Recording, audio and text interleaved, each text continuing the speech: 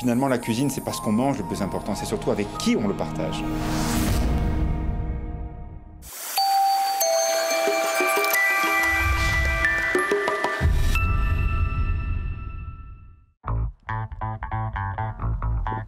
Nous sommes au cœur de Savoie-Mont-Blanc, dans le petit village des Marches. Partout autour, ce sont des vignes. Il y a bien sûr ce granier, cette montagne mythique de Chambéry qui surplombe complètement la vallée. On voit aussi la Savoyarde euh, qui est à côté de, de Montmélian et bien sûr en enfilade toutes les Alpes. Comme ça, c'est une terre euh, très riche avec une histoire, avec ses vins, ces hommes qui ont façonné ce territoire. Nous sommes au COSI, Sébastien et de la région. Il est né à Chapareillan, c'est juste à côté d'ici, la limite hein, entre le Dauphiné et Savoie-Mont-Blanc. On va retrouver euh, des très très bons produits de Savoie et d'ailleurs, parce qu'évidemment, quand on a voyagé comme lui partout dans le monde, on a envie de faire un peu ce métissage, euh, ce métissage culturel, parce qu'il y a beaucoup beaucoup de gens du pays qui viennent déjeuner un simple plat du jour à la carte ici au cœur des marches. C'est une terre de passage ici les marches. hein. On se croise, on vient de Grenoble, on va à Chambéry, on arrive, on va en station. Bref, on fait un petit détour pour venir découvrir la cuisine de Sébastien. On aime y venir et on aime surtout y revenir. La recette est un carré de cochon qui est cuit un peu à l'étouffée avec ses sarments de vigne, avec ses pommes de pin. Euh, une purée, toute simple, montée comme ça à minute avec le robot. Euh, une purée de potimarron, un peu de beurre, un peu de crème, quelques champignons. Euh, c'est un plat d'automne, bien sûr. Et c'est un plat de vigneron. Les vignes sont partout et également dans le mode de cuisson, juste en dessous du cochon. Nous sommes dans la cuisine fumoire de Sébastien parce que ton appareil, là, il commence déjà à, à se réveiller parce qu'on va cuire effectivement tout ça dans un barbecue fermé. Ça va être très très intéressant. On attaque tout de suite par les potimarrons Voilà, on va faire les petits marrons en croûte de sel. Oui. Donc, je vais demander de me faire passer la, Ouais. la pâte à sel qu'on Ok. a fait. Rappelle des souvenirs, ça, à tous les enfants. hein Ah oui. donc on va juste, euh, Tiens. donc on va juste mettre le potimarron en croûte de sel D'accord. et on va le cuire. euh, Pourquoi tu as choisi ce mode de cuisson? Alors, j'aime bien qu'on garde un petit peu les, les produits euh, euh, sans trop les dénaturer. Et en fait, avec cette cuisson, on arrive à garder notre potimarron, s- faire une, une- une purée sans ajouter trop de choses, euh, de l'échalote ou la faire suer. Et en plus, on conserve toutes les saveurs à l'intérieur. On a une croûte, on va cuire le potimarron, on, a, on amène, on perd aucune saveur. Je te regarde faire. Montre-moi comment tu fais tout ça. La cuisine, j'aime bien qu'on garde un petit peu euh, voilà, le, goût originel des, des produits sans trop dénaturer. Enfin, on met pas trop de choses dans- quand on cuisine. Mais tu as le temps de faire ça parce qu'ici c'est une cuisine de plat du jour, c'est une cuisine du quotidien. Tu inventes tes recettes au quotidien. Tu as le temps de t'amuser à ça? Oh, bah oui, on prend le temps. On prend le temps, ça fait beaucoup, beaucoup d'heures, c'est certain. Mais, euh, mais en même temps, c'est du plaisir, donc on s'amuse. C'est pas, pas du tout euh, un, un inconvénient. euh. Alors, il y a des fois, on va, on va essayer de faire plus simple parce que, parce qu'effectivement, on n'a pas le Et temps. tu as plus de Vancouver, ils viennent tous aux marches te voir. Il y a des viticulteurs, il y a des commerçants, ils n'ont pas beaucoup de temps quand même. Ah bah oui, non mais, euh, ah, mais ça, on le fait en, en mise en place. hein, Ouais, bien sûr, j'imagine, tu le fais pas minutes, oui. Ça, Non, parce qu'on a une cuisson d'une heure, donc ça, on le fait en mise en place le matin. Donc c'est plus, on se lève plus Mais c'est le bonheur d'avoir ça effectivement. euh, Merci. La veille, on vient ici, on sait qu'on va pouvoir goûter ça. Tu mets au four? Allez, on le met tout de suite au four. Combien de temps? On le met au four pendant une heure et quart. Une heure et quart, d'accord. On va parer notre, notre carré de cochon. Alors c'est un cochon de lait. Il vient d'où? Ah, c'est Jean-Charles Garrigue, Ouais. boucher, qui nous sélectionne ça. Vraiment, il fait attention, il a des éleveurs, il, il élève aussi ses bêtes. Je veux dire, il travaille vraiment en, en- en collaboration avec ses éleveurs pour affiner vraiment l'élevage et faire T'es un des passionné. hein. Ouais, non. On travaille avec des passionnés. Moi, j'aime mon métier, puis en plus, on travaille avec des gens qui, qui, qui sont aussi passionnés que nous et qui nous permettent d'avoir des produits fantastiques. Voilà, c'est ce qui nous fait euh, lever le matin et, et vraiment travailler dans, dans le bonheur. C'est c'est pas un travail en même temps. C'est on, on s'amuse à faire ce que, à faire ça et c'est- c'est un grand moment. C'est un bonheur tout ça. Alors là, donc tu vas, euh, bon là tu prépares, après tu vas donc le fileter. On va le cuire comment? Alors, on va le cuire dans un barbecue. C'est ce qu'on voit juste à côté. Voilà. Donc, c'est un barbecue à braise et j'ai fait donc mes braises à partir de, de sarments de vigne. Ouais, bah, de- logique, on est dans le pays du vin ici, dans du l'histoire de la région. Voilà, en plus, en- dans la saison du vin, on est en pleine vendange. Donc, on a, on a les sarments de vigne, on a les, les pommes de pin aussi. J'ai rajouté quelques pommes de pin. Oui, c'est vrai que ça sent un petit peu, hein, on sent ce- ici évidemment dans cette cuisine. Euh, ouais, ouais, on, sent un peu, notre, presque un peu d'épices déjà. Euh, on sent les épices et puis surtout c'est le, cochon qui aura, le, goût des épices et, donc ça apporte un, petit plus. Tu es heureux ici? Ouais. Ouais. c'est une belle région. Je trouve qu'on a que les gens ont vraiment la connaissance de la, de la gastronomie. Vraiment, quand on fait des belles choses, les gens le ressentent. Et ça, c'est important. C'est important que l'on puisse, euh, voilà, quand on sert des produits comme ça, j'aime bien que les, clients puissent un petit peu comprendre et vraiment se dire ah là il y a un cochon qui était parti. C'est pas n'importe quel client qui vient ici. Il y a tellement de viticulteurs qui sont à proximité immédiatement du COSI. Ben voilà, ces viticulteurs ont la chance d'aller et eh bien de temps en temps euh, livrer les plus belles tables hein, de Courchevel, de Megève et d'ailleurs. Donc ils retrouvent chez toi dans ta cuisine eh bien tous ces très beaux produits. Ah bah oui, puis ils font des, des belles choses aussi, il faut, faut accompagner Ils sont exigeants, il hein. faut le rappeler. ils hein. sont exigeants et, c'est bien, c'est bien, ça nous permet de nous remettre en question tout le temps, de ne pas s'arrêter sur ce qu'on sait faire et vraiment d'essayer de, d'être le meilleur tous les jours. Et oui, mais quand même, quelque part, le côté assez original, ça serait de dire, bon, bah, finalement, tu te fais deux ou trois plats de légende, deux ou trois plats de stars, et puis voilà, on vient manger chez toi, ça et ça. Eh bien toi, non, tu te remets en question tous les jours et tu fais une cuisine qui change tous les jours. Bah oui, parce que les produits sont du jour du moment. On n'arrive plus aujourd'hui à, se fixer à un produit tous les jours. On a des aléas, les comment la météo. Euh, l'imagination, euh, l'écriture. Ah bah, des fois, c'est vrai que c'est difficile. Des fois, je peux arriver à, le matin et être devant mon produit et de ne pas y arriver, de vraiment pas trouver ce que je peux faire avec. Mais en parlant avec euh, les fournisseurs, on se tourne derrière, on a le poissonnier, et ben on arrive à avoir des produits, puis, puis l'idée va venir, et puis en fait, des fois, c'est même, une super idée. Donc, euh, donc, on y arrive toujours. On y arrive toujours. Qui t'a appris tous tes gestes techniques qu'on voit là? Parce qu'on te sent très concentré. Voilà, tout ça, qui t'a appris tout ça? Bah, euh, L'expérience. Donc, j'ai fait quand même quelques restaurants. Et oui, l'expérience. Et puis après, nous, vu qu'on a un petit établissement. on fait tout je fais tout. Donc, euh, donc on perd pas la main, on continue à, progresser. C'est euh, c'est ça, voilà, on se remet en question, puis on, fait toutes les choses qui sont normalement faites par des, par des petits commis. Donc euh, on, est, on, est, des cuisiniers. Tu es un cuisinier un cuisinier, vrai. Quelle amitié, quelle gentillesse, Gilbert Perrier, ce, personnage, cette famille qui, a grandi juste au sud du Granier, aux Marches, dans ce village de, vignerons. Euh, c'est un amoureux du territoire. Euh, ses plus belles bouteilles, ses roussettes de Montermino, ses mondeuses se retrouvent dans les tables les plus prestigieuses de Savoie-Mont-Blanc. Et c'est quelqu'un qui a cru à la montée en gamme, ce pari de dire mais si on est capable de faire mieux, mais si on est capable de monter en gamme, on est capable de faire de ce territoire l'une des plus belles régions déjà pour les blancs. C'est très clair, les vins blancs de Savoie sont parmi les meilleurs français et on commence à voir arriver ces mondeuses, ces vins qui commencent à devenir des vins de garde. Vous pouvez garder des mondeuses 10-15 ans sans aucun problème parce qu'il y a cette identité, il y a ce travail et forcément ça se garde tout ça.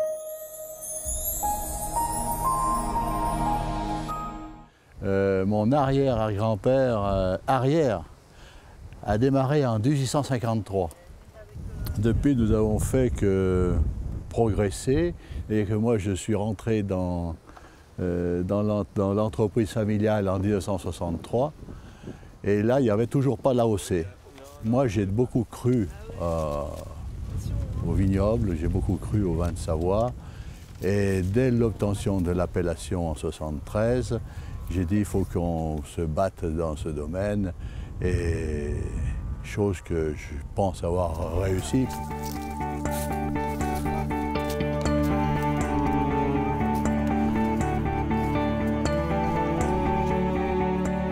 Bien que les vins de Savoie ont été souvent décriés, euh, on essaye euh, tous ensemble, hein, tous les vignerons, euh, coopérateurs et négociants, on essaye de, de faire connaître euh, la qualité des, vins de Savoie avec tout le savoir-faire qu'on peut avoir les uns les autres. Et puis bien sûr toute cette modernisation parce que ça ne vient pas tout seul. Hein. Il faut automatiquement euh, du matériel moderne, il faut euh, s'adapter au temps, il faut s'adapter aux circonstances, il faut s'adapter à tout, hein, et, au climat aussi, hein, parce que ça, il y a eu beaucoup de changements dans ce domaine. Le COSI, euh, c'est assez génial, qui se trouve euh, au milieu du village des Marches, avec le chef que je connais bien, puisque je connais vraiment bien la famille, la famille Labbé, hein, puisque c'est une famille de vignerons également. Donc il y a forcément une complicité qui se traduit en amitié. Moi, c'est vrai que ma fierté, bah, c'est oui, c'est d'abord euh, tous, les, tous les restaurateurs et sommeliers qui croient en nos, qui croient en nos vins. Euh, et c'est vrai que quand on, peut être présent sur toutes les, toutes les grandes tables, Sébastien en fait partie, j'en suis très fier, puisque se trouve sur, euh, sur notre commune. et là, on n'hésite pas à aller prendre un repas et emmener des clients, des amis. Euh, pour voir un petit peu son savoir-faire également, hein, le savoir-faire, et puis accompagner, accompagner ces bons mets avec les bons vins. Sébastien choisit, sélectionne ses producteurs. C'est à chaque fois une histoire. Bien sûr, la famille Botti, ce primeur extraordinaire, Catherine et son mari qui sont installés à Chambéry. Monsieur Nadeau qui livre à Sébastien sa meilleure pêche qui arrive directement de Ringis. Et voilà, je crois qu'il y a cette idée d'un café épicerie restaurant où on retrouve un produit qui est préparé presque à minute par le chef. La carte change tous les jours. Je ne sais pas comment fait-il pour avoir autant d'inventivité, autant d'imagination. Il remet sa tête sur le bio tous les jours pour donner le meilleur de lui-même. C'est complètement fou de faire un truc pareil. C'est le filetage. Alors, montre-moi comment tu fais. Bon, on va juste ficeler notre, notre carré de, cochon avec des ficelles arrêtées, c'est-à-dire que... Qu'est-ce que c'est? Bah, En fait, on fait un nœud à chaque fois. Voilà, ça permet de tenir notre cochon ah oui, bien droit. On ne va pas le ficeler euh, d'une même ficelle. À chaque fois, on fait un nœud. Je comprends. Voilà, comme ça, si une, ficelle, eh ben, elle brûle dans le barbecue. Oui, parce qu'elle est sarment. Hein. N'oubliez pas qu'il y a cette notion euh, euh, de barbecue, donc il y a de la chaleur, il y a de l'incandescence, donc il faut faire attention à ça. Ok. On, fait un petit, on va l'assaisonner un petit peu. Ouais. Voilà, de sel. poivre Juste sel. D'accord. Le poivre, euh, j'aime bien le mettre essentiellement à la fin. D'accord. Voilà, parce que en fait, le poivre, je trouve qu'il perce toute sa. Ah, mais il peut torréfier aussi. Hein. C'est peut être dangereux aussi. Puis c'est bien d'avoir. Moi, j'aime bien le côté poivre frais tout de suite. D'accord. De moulin et on y va tout de suite. Donc là, on le met La machine magique, regardez. Donc là, notre barbecue, on va saisir notre carré. Regardez-moi ces merveilles, quelques champignons que tu vas mettre comme ça. Alors c'est des petits cèpes, des petits cèpes bouchons. ils sont petits cette année. Hein. C'est vrai que c'est une année plutôt sèche, alors voilà, bon, bah, c'est un peu... Ils sont petits, ça change. Hein. C'est un peu dur à en avoir cette année, mais bon. On arrive quand même à en trouver. Donc là, on va juste les gratter pour, pour les nettoyer. Et après, bon, on les met directement au barbecue, les assaisonner. Donc là, on va juste. Il prépare tout, il est précautionneux, minutieux. Non, mais c'est ça, c'est ça un cuisinier. Comme tu dis, tu n'as pas le commis qui va faire. Euh, allez, rappelez-moi ça. Mais bon, c'est vrai qu'après, il y a la tentation d'acheter évidemment tout préparé ou tous les fameux ingrédients en PAI. Toi, il n'y en a pas ici. Hein. Non, mais moi, c'est. T'en veux pas. C'est hein. hors de question parce que voilà. c'est hors de question. Il y a, non, mais enfin, je veux dire. Radical. C'est plus d'éternel cuisinier. Enfin, moi, je. Euh, les bouillons, on fait tout, on fait tout des bouillons maison. On achète, bouillons. on achète des poules, on fait, des, on fait les jus, on fait jus d'agneau, on fait jus de volaille, on, fait tout. Et puis, franchement, je trouve pas ça compliqué. Enfin, oui, peut-être. Ah, c'est du boulot, t'es gentil. On se lève le matin, mais démarrer un jus sous le fourneau, on arrive à 7h30, on démarre notre jus, après on s'en occupe, il cuit tout seul. Il n'y a pas forcément énormément de choses à faire. Je, enfin, personnellement, moi j'aime bien, puis le goût, ça n'a rien à voir. Ah bah non. Si on, enlève tout ça, on n'est plus des cuisiniers, on, assemble. Magnifique. Pour là, toute l'humidité, tous les sucres sont préservés. C'est un monde à part, hein, l'intérieur là. Hein.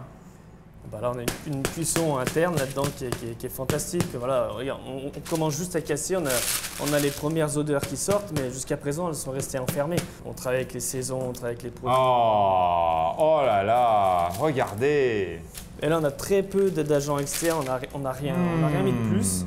Euh, on va récupérer ah, notre chair. Alors bien sûr, c'est chaud, ça c'est l'inconvénient. Forcément. Ah oui, mais il y a quand même, hein, on disait tout à l'heure euh, ces arômes un peu torréfiés, mais il y a aussi beaucoup de fleurs. Il y a beaucoup, beaucoup de choses, presque un peu dans l'orange qui ressortent, tu trouves pas? Au niveau du potimarron? Oui. Ouais, c'est assez frais, c'est assez Oui, frais oui. comme légumes. Là, on Donc là, récupère tu que en- la chair. Ouais. On, on met pas la peau parce que on s'en est servi juste pour cuire le, le potimarron, mais là on récupère que la chair. D'accord. Donc tu vas mixer après Voilà. Tu vas crémer On va mixer, euh, crémer très peu, puis monter un petit peu au beurre pour la lisser. D'accord. Même sans rien, il est délicieux. Bon, mixeur. Alors attends, tu mets quoi dedans? Vas-y. Alors là, on va juste la mixer, on met un petit peu de beurre et puis la crème, on verra vraiment au dernier moment. D'accord. Allez, on te regarde. On va déjà un petit peu la- l'assaisonner parce que par connaissance, je sais qu'on n'est on n'est pas très salé. Et puis j'aime bien que le sel rentre vraiment à l'intérieur de la chair. Et n'oublions pas, on est dans une note sucrée. Le potimarron est naturellement sucré, donc il faut du sel pour refaire remonter la note de sucre.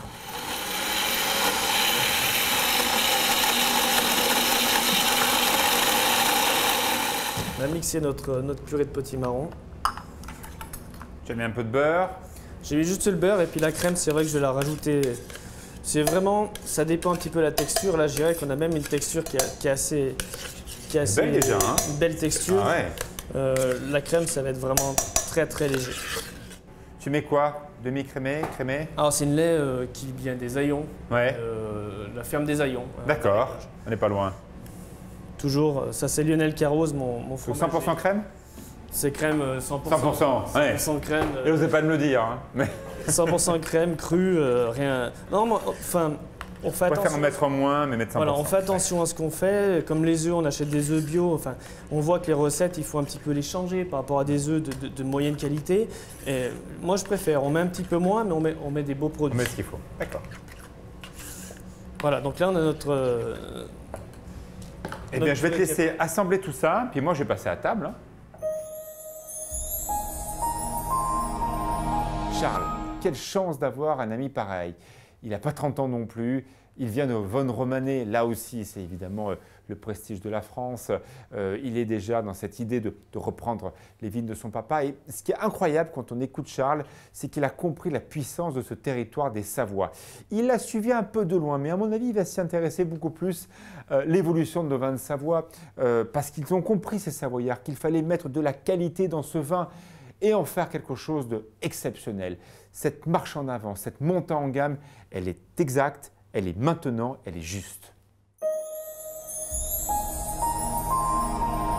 Bon, c'est une sorte de famille tout ça. hein. Tu le trouves comment, Sébastien là? Euh, je le trouve bien, euh, passionné. Ouais. C'est pour ça qu'on on est devenu aussi proche, je pense, parce qu'on est animé par nos, par nos métiers. Euh, Peut-être qu'il a trop d'idées à la minute. C'est-à-dire Il est, en- il est sur un truc, sur un repas ou ce qu'ils sont en train de faire aujourd'hui avec sa femme, euh, sa compagne au restaurant. Il est déjà à l'étape suivante. Il est déjà en train de penser à, à ce qu'il va faire après. Et depuis que je le connais, ça a toujours été ça. Avant qu'ils ouvrent, il était déjà après l'ouverture. Avant de voir comment ça marche, il avait déjà des projets. Et là, ils sont sur un projet à côté, il est encore en- au projet d'après. Il est tout le temps en mouvement et il ne sait pas s'arrêter. Tu as fait le voyage spécialement de Bourgogne pour venir nous voir ici euh, en Savoie-Mont-Blanc. Euh, tu en penses quoi de ce territoire, de, de ces Alors moi, c'est une région que j'adore. Et il y, a des, il y a des ressemblances entre, entre nos régions. C'est des régions de terroir, de passionnés, de gens qui sont chauvins de leur région. On est bourguignons, pareil, ici on rencontre les gens. Non, je suis de savoyard. Comme je disais tout à l'heure, je suis de Chapareillan ou je suis d'ici. Et voilà, on, se retrouve dans tout ça, cette passion et ce qui anime les gens. quoi. Quel regard portes-tu sur euh, ces viticulteurs et vignerons savoyards? Bon, pendant des années, c'est vrai, pas comme en Bourgogne, il y avait un peu une image de marque un peu difficile.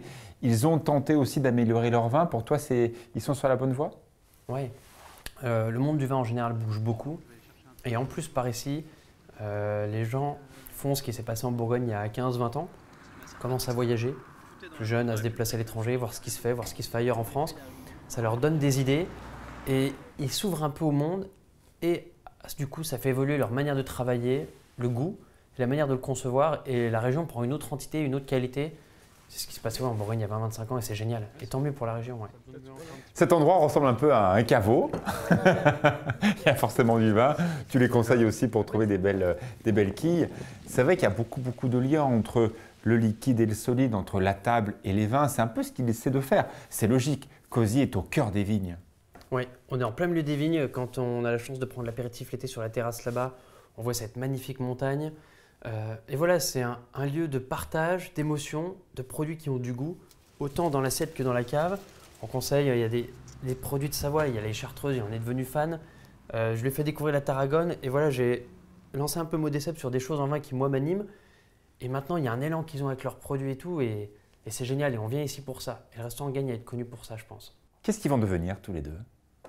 Je sais pas, de belles choses, je pense, parce qu'ils ont un formidable projet. Ils ont vers il y a quoi, presque trois ans. Ouais. Euh, ça marche du feu de Dieu. Et ils démarrent une famille magnifique. Ils ont un petit garçon, ils ont des projets. Euh, je pense que ça va aller loin. Et ils sont bien entourés par la famille, les amis. Et il y a un très beau cadre et une envie au milieu. Donc je pense qu'on on va entendre parler d'eux dans la région. Ils sont très attachés à cet endroit. C'est avec Chaparillon, les Marches, c'est tout un territoire très identitaire des, des Savoies.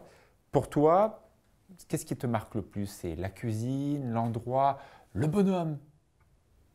Le, bonhomme qu'on retrouve dans sa cuisine, euh, ce passionné de produits. C'est vraiment tout à propos du produit. Même son lait, sa crème, son beurre, il va les chercher dans les alpages, des petits éleveurs qui font tant de beurre. Il doit savoir l'histoire de chaque produit qu'il utilise. On en est arrivé là. Et c'est super intéressant parce qu'il véhicule une histoire, une émotion, des produits qui sont faits par des gens qui sont animés et des produits qui véhiculent une émotion. Et je pense que le vin et la cuisine, c'est à propos de ça. C'est fait avec les tripes il faut que ça donne quelque chose. Sinon, ça sert à rien. Le meilleur ami de Sébastien m'a fait une petite confidence je l'ai un peu ressenti aussi. Sébastien est à un point de bascule dans sa cuisine. Il est précis, il a compris les produits, il a compris qu'il fallait aussi une colonne vertébrale euh, dans la cuisine. Ces notes d'acidité, ces notes d'amertume. Mais à mon avis, dans deux ou trois ans, ces plats auront complètement changé. Il ira encore plus loin dans le produit. Il ira encore plus loin dans la sélection des choses. Et je pense qu'il se passera beaucoup de choses ici au COSI. Moi, je suis absolument persuadé.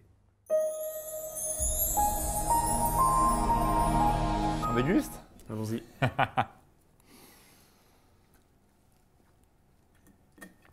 Petit marron.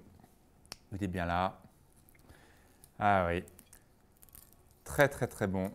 Alors ce cochon que tu as cuit tout à l'heure en barbecue, est-ce qu'on pourrait imaginer que ce cochon puisse faire partie des, des plats que tu suggères ici? Parce qu'on l'a, on l'a bien expliqué, hein, tu fais une cuisine du moment, une cuisine d'instant, au quotidien. C'est beaucoup de travail, hein. on l'a vu. Hein. C'est beaucoup de travail, beaucoup de réflexion, parce que c'est vrai qu'on n'a pas toujours ce que l'on souhaite avoir le matin. C'est vrai Mm. qu'on pense avoir un produit, puis en fait, il est pas, la qualité n'est pas là, du coup, on change. Donc, il faut vite réagir. Aussi, pour en salle, on- maintenant, on tient aussi peut-être à imprimer nos menus, donc il faut absolument qu'on imprime tout, que les cartes soient prêtes pour midi.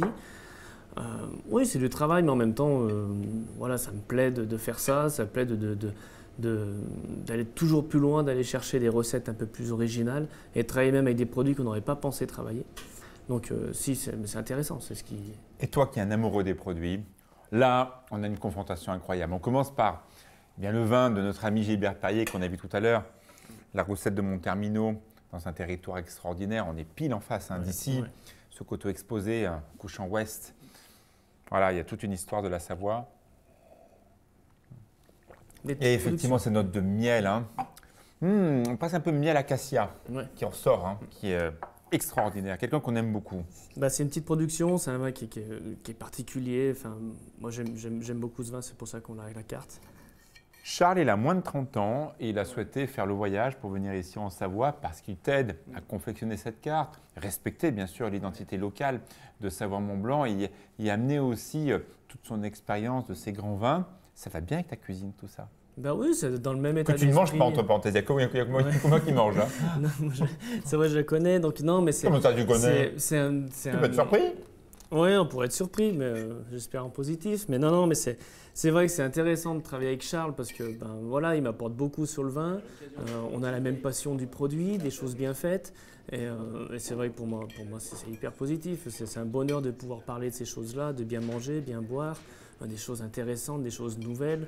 On, y prend beaucoup de plaisir. Donc, c'est dans l'état d'esprit de la cuisine, de recevoir, de faire les choses correctement avec passion et de faire plaisir aux gens, créer des émotions. Mange On te tout sent cas- un peu. En tout cas, ça te plaît parce que je vois que. Ah ben c'est bientôt fini, évidemment. Voilà. On te sent un peu sur un point de bascule. Parce que voilà, il y a cette note importante, ce big gourmand qui est arrivé. Il y a le coin épicerie, il y a ton amour des produits. On sent que tu es un peu au carrefour de ta vie, là, culinairement parlant. Peut-être, enfin un Carrefour, je sais pas, mais je, je, je veux continuer à avancer. Enfin, chaque fois qu'on fait quelque chose de nouveau au restaurant, ça plaît. Et ça, ça c'est hyper positif pour moi parce que ça, ça, me, propulse, ça me, fait encore aller plus vite. Et j'ai envie que voilà, j'ai envie de faire des choses nouvelles. Tout ce qui parle de, bons produits, de, personnes qui, qui, vraiment qui travaillent beaucoup pour, pour faire des choses bien, euh, j'ai envie de les mettre en avant. Là, on veut créer cette petite épicerie, c'est vrai. Euh, j'ai envie que je, donne un petit peu à force de, parler euh, avec les clients, je me rends compte qu'ils aimeraient tous cuisiner bien à la maison, mais qu'il manque certaines choses, les bouillons. Les...